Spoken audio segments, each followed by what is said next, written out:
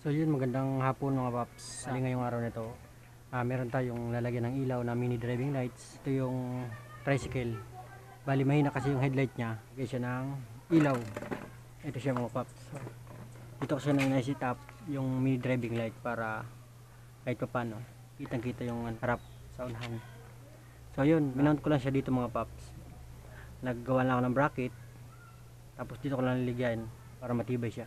Hindi siya nagalaw. Yan. Sana pag ano yung shock niya, hindi tumama dito. Kasi medyo mababa. Pero so far okay naman, hindi na siya aabutin. So yun mga paps, balang ginawa natin ay wala siyang relay. Direkta lang siya mga paps. Nilagyan ko lang siya ng fuse para kahit papano uh, bumigay man yung ilaw, di agad mapiktuhan yung baterya natin. Dito mismo siya sa fuse masisira agad. So yun mga paps, bali ganito ang ginawa natin. Meron ako ditong switch. Three way switch yan. Yan. Isang high, tsaka isang off, at tsaka low. So yun mga paps, ito yung ginawa natin fuse. Dito ko lang nilagay para mas madaling madukot. Kung sakasakaling may sira yung fuse natin, tanggal natin, madali. So yun mga paps. Basic lang to mga paps na ating ginawa pag wiring dito sa ating mini driving light.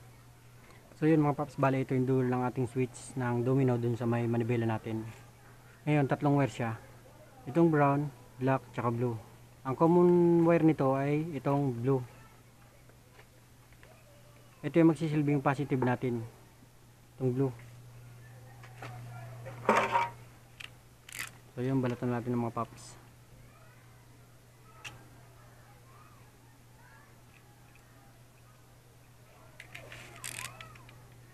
Ngayon, ang dulo naman ng ating mini driving light ay ito.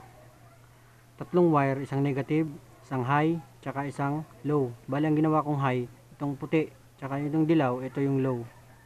Para hindi masyado maliwanag. Ngayon, dito sa ating kukuhanan ng ating positive, dito na lang sa accessories wire. Ngayon, itong accessories wire, ito yung sinasabi na galing dun sa may susian natin. Mayroon siyang dalawang wire, mga paps, ito i-trace lang natin kung alin dito yung kukunin natin. Bali, ang kukunin pala natin, yung wire na kapag sinusi mo, on na susi, i- saka lang siya iilaw. Tapos kapag inop mo yung susi, saka naman siya mamamatay. Tapos yung isa nito kasi yung mga paps, kahit naka-off yung susi, mayroon siyang supply. Ngayon, bali, para makuha natin yung wire na hinahanap natin, gagamit tayo ng tester. Meron akong DIY mga paps. Ito.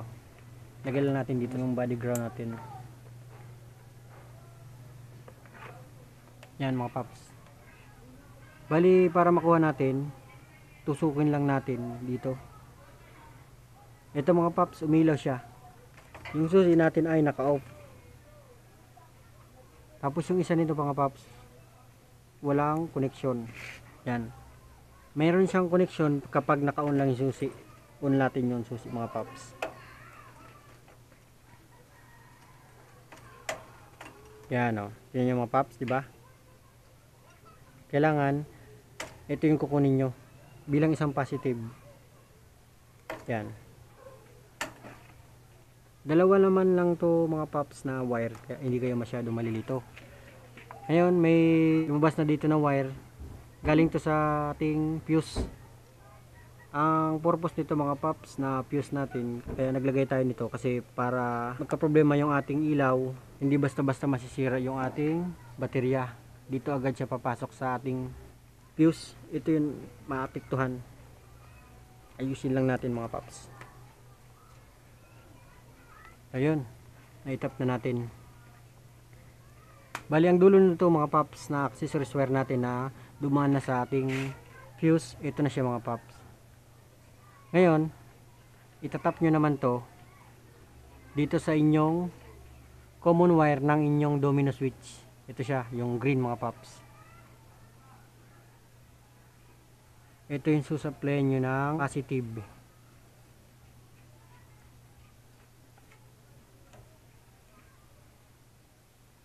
Tipan lang natin para hindi mag-circuit dito sa ating motor. Balutan natin ng maigi. So yun mga paps, yung natitira yung wire dito sa ating domino switch, bale ito. Ito yung magsisilbing high in low natin mga paps. Yan. Tapos ito mga paps, dito sa ating dulo ng ating wire ng mini driving light, tatlong wire to, pinagsama-sama ko na lang kasi dalawang mini driving light yung in- in-install natin dito. Isang negative, isang puti. Yung puti natin, yan ang ginawa nating high. Tsaka yung dilaw, ito yung low natin.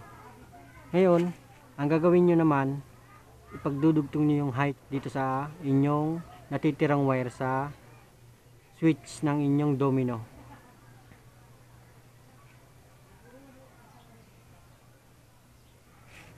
So yun mga paps, na-tap na natin yung high. Sunod naman natin yung low.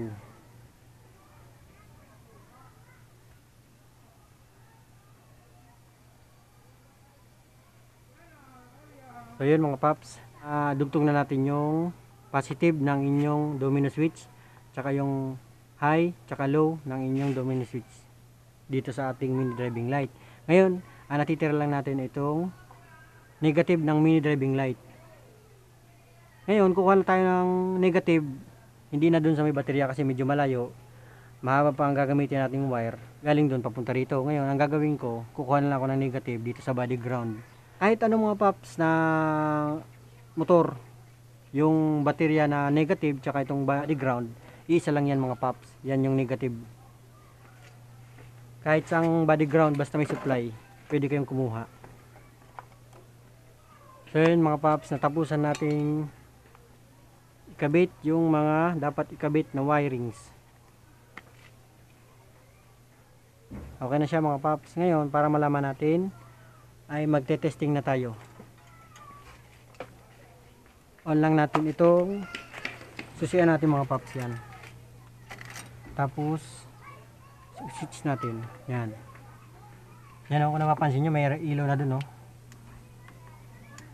Taas siya mga paps. Low, high.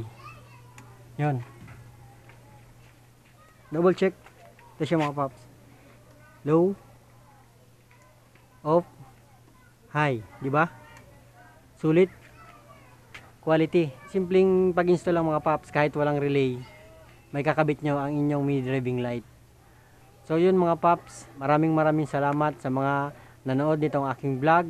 I hope na nag-enjoy kayo at nabigyan ko kayo ng magandang idea kung paano mag-install ng walang relay dito sa ating mini driving light. So yun, maraming maraming salamat po. Bago ko po tatapusin itong vlog, magsi-shoutout muna tayo mga paps. Shoutout ko mga tropa ko dito sa Bulan, yung kagrupo ko sa riders ng Roadrunner Bulan Chapter at shoutout ko rin yung mga viewers ko dito sa aking YouTube channel. So yun mga paps, kung bago ka pa lang sa aking channel, huwag mo kakalimutan mag-subscribe. Please don't forget to like, share, tapos click mo na rin yung notification bell para lagi kang updated sa mga video ina-upload ko. So yun mga maraming maraming salamat sa mga nanonood. Kita kits mga paps, see you next vlog. Ride safe. Peace.